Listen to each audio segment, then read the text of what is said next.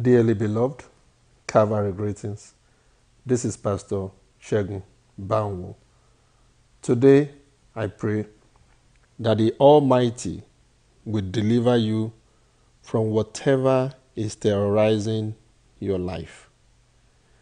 It is written in Isaiah 49, verse 24 to 25 Shall the prey be taken from the mighty, or the lawful captive delivered?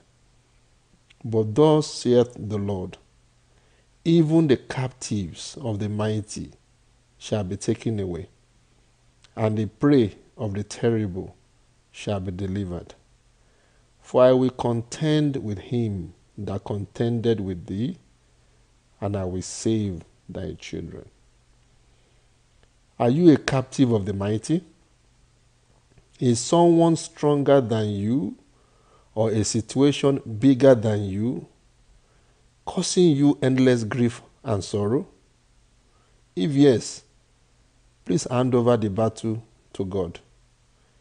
He is mightier than the mightiest and stronger than the strongest.